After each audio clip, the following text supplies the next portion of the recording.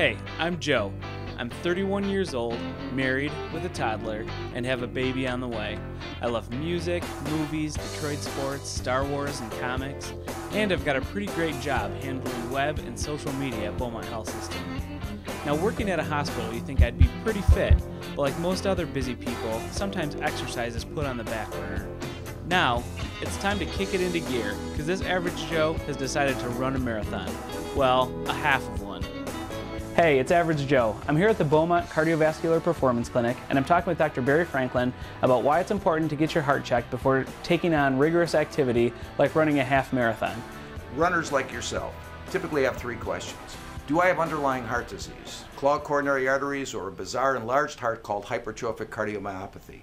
Secondly, you want to know what's your optimal race pace. In other words, what's your fitness level and what's the highest pace you can go without developing fatigue. And lastly, I get questions all the time about supplements, about caffeine, about what we call ergogenic aids. Are these safe? Are these research based? So those, those are the things that we typically address in the performance clinic. All right, sounds good. Let's get this ticker checked out.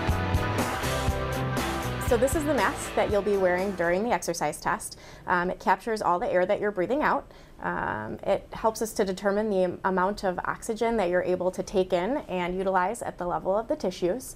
And the more fit you are, the higher that level or capacity is going to be. Mm-hmm. Um, we can also determine the point at which your body goes from aerobic metabolism, where you're uh, mobilizing fat energy stores, to anaerobic metabolism, where you're using glucose stores or short term energy, um, and that's called your anaerobic threshold.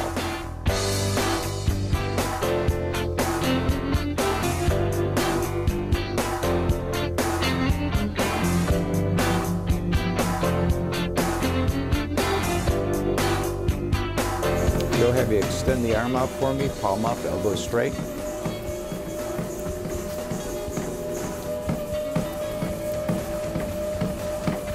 One nine two.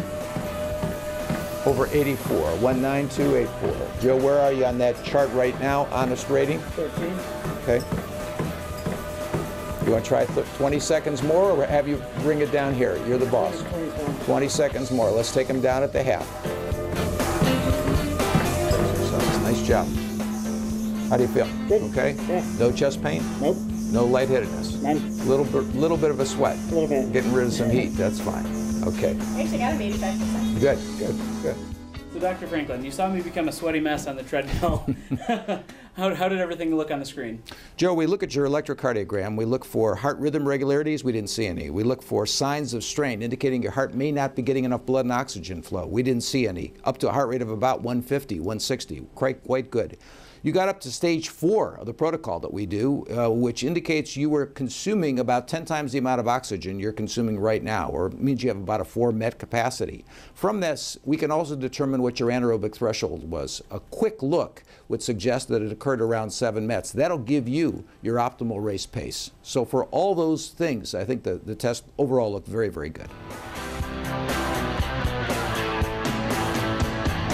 On the next episode of Average Joe Runs a Marathon, when I'm not at work wearing something like this, I'm at home wearing something like this. Shirts, shorts, socks, and shoes. Let's talk about the great things to wear when you're out running.